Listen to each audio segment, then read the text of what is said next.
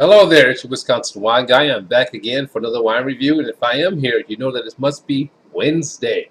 Hashtag Wine Wednesday. So now, very simple system. I go to the store and I pick out wines that you find on your everyday shelves of your liquor store, grocery store, and some wine shop shelves.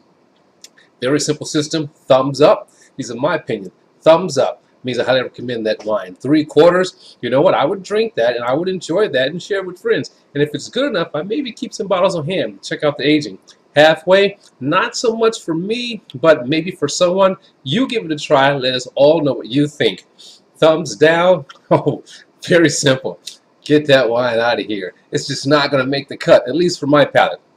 So today's show, we're going to be going to Germany and more specifically Dr. L or Dr. Loosen 2018 Riesling.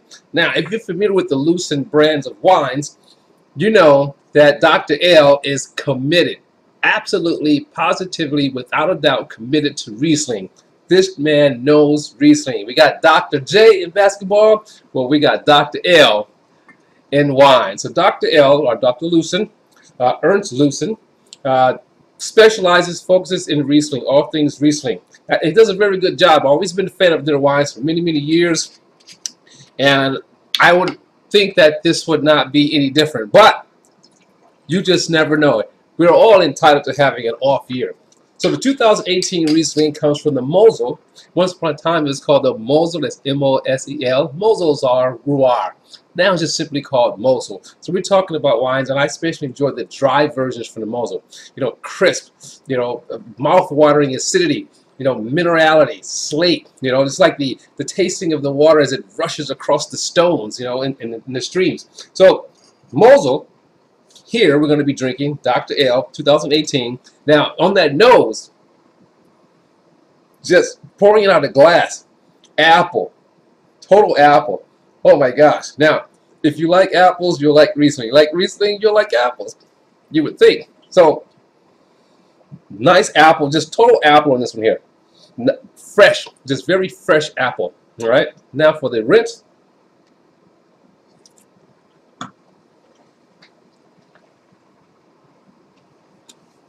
Okay. It's very rare that you come across a wine that the taste is just boom, that's it, nothing more. Apple. Nothing more. But crisp. You know, I would go more with a honey crisp apple and a cross between honey crisp and golden delicious, you know, on this one here. But it, it's very nicely balanced for Riesling. And that was just by Ritz. You know, so when I talk about acidity, it's not spiking acidity, you know, it's not dull acidity, it's just right there in the middle, you know, but just brings all the flavors together. So now that was the rinse. Here's the taste.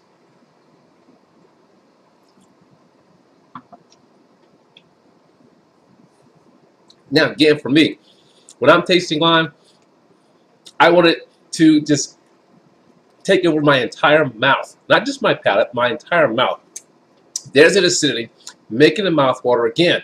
But it mellows out real nice and it mellows out across the palate. So very crisp, very refreshing, definite apple and minerality. On that finish, you get more uh, a subtle mineral taste, very, very subtle. But again, it all comes together nicely in this package. Now, this wine comes in at 8.5% alcohol. And what I learned from following Dr. L on his platforms and, and participating in some of his live presentations is that they do a great thing with, with the Riesling. You know, the alcohol can be low, which by all standards in industry, we think if it's a low alcohol, it's a sweet wine. But that's not necessarily so. I found from Dr. L. You know, depending on the year and what's happening with their wines, they can come in a low alcohol, but the wines can be dry. So what we have here is a wine. So if we go dry, sweet, we have a wine that's right there in the middle, but it doesn't it doesn't go sweet. You know, it's, it's very, very nicely balanced. You know, I mean, I can enjoy this. 2018. Hmm. If you like the taste of apples, crisp apples, you'll enjoy this. Now, for the grade, 2018, Dr. L, Riesling, three quarters. I'm to give it three quarters because it's not going to knock it out of the box. You know, it has a hint of sweetness to it, but it's not cloyingly sweet. Has a good balance for three quarters. I'd be very interested to see how this would age. So I'm going to have to get myself another bottle, a couple of bottles, and put this on ice for a while and see what happens. You know, maybe five years from now. See how it balances out.